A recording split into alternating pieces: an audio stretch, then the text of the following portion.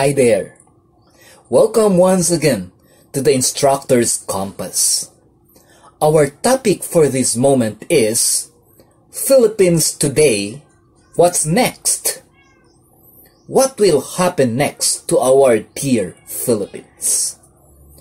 This is your online instructor, Sir Nhoie Gonzaga, and I hope that we will have a productive discussion again this very moment. Philippines as a nation has a history of international dependencies and alliances that help secure its international agenda. Of course, this is what we call as diplomacy.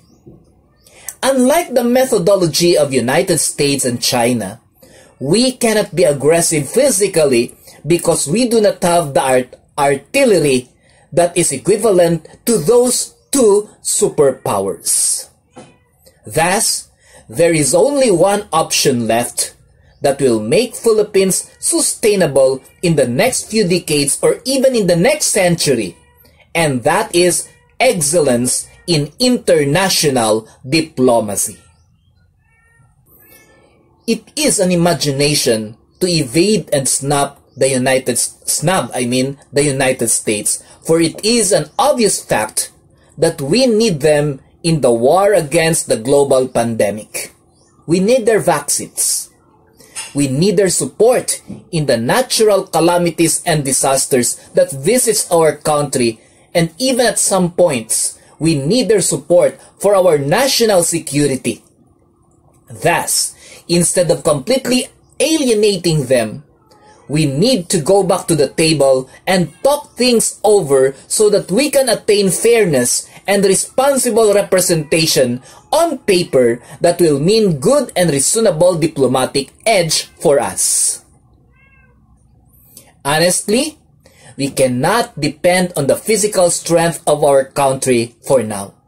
The sad reality is, even with the nearby nations in Southeast Asia when there will be encounters and chaos. We may even handily lost with the kind of military and protective equipment that we as a nation possess. That is why we need to put our tongue in areas that it will exist with proofs and with benefits. I would like to give us an example the Western Philippine Sea issue. The world knows that Philippines won in the Hague Court regarding the ownership of the disputed areas in Spratlys or in the South China Sea. However, you can just witness how our victory becomes a lame duck when China will not respect or honor the decision of the International Maritime Court in Hague. So it is possible that we can win cases in diplomacy, but we can still lost in physical struggles or wars, especially if we do not have the correct alliances that will protect our national interests. The West Philippine Sea is a great reminder of our capacity to guard our territory. Now moving further, our national resources still in Spratlys area. We have a spot there that promises a lot of oil, but Philippines has no exploratory capacity economically because we do not have the equipments to drill down there. Now, we seek again the help of the people we won the sovereignty from, which is China.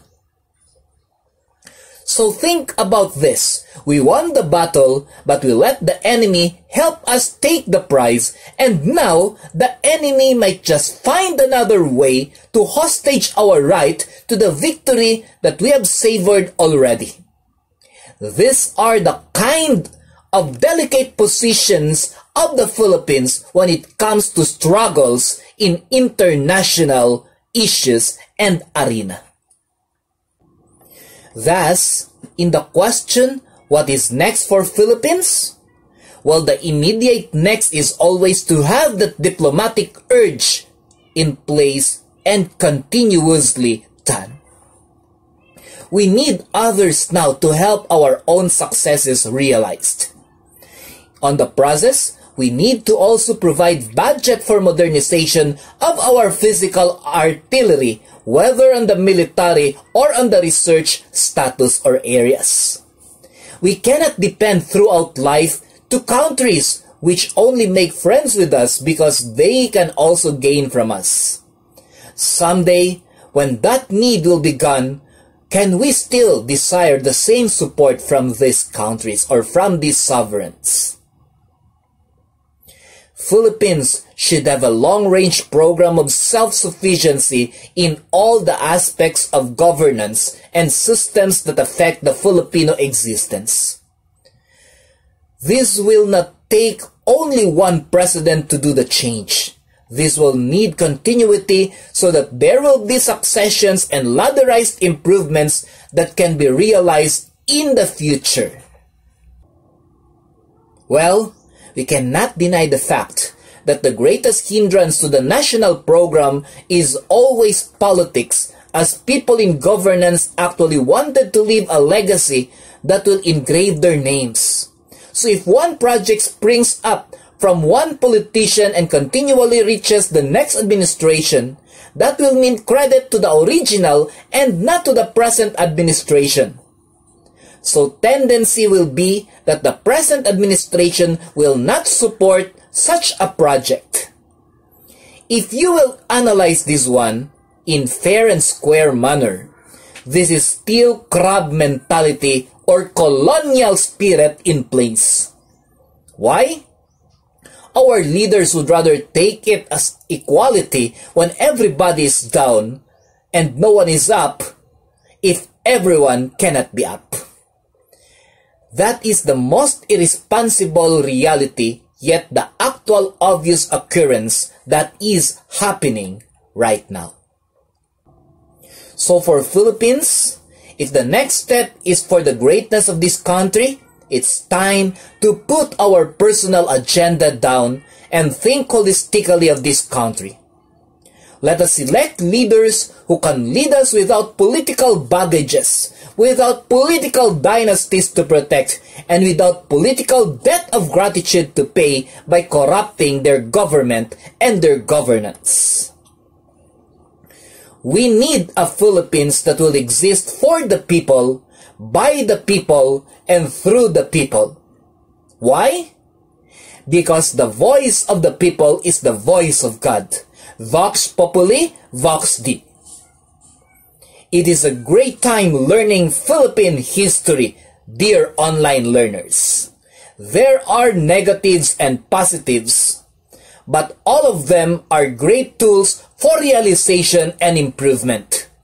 Let the change of the next Philippines start with us. Again, this is your instructor's compass. And this is your online instructor, Sir Noy Gonzaga. Have a great day, Philippines. Mabuhay ka, Pilipino.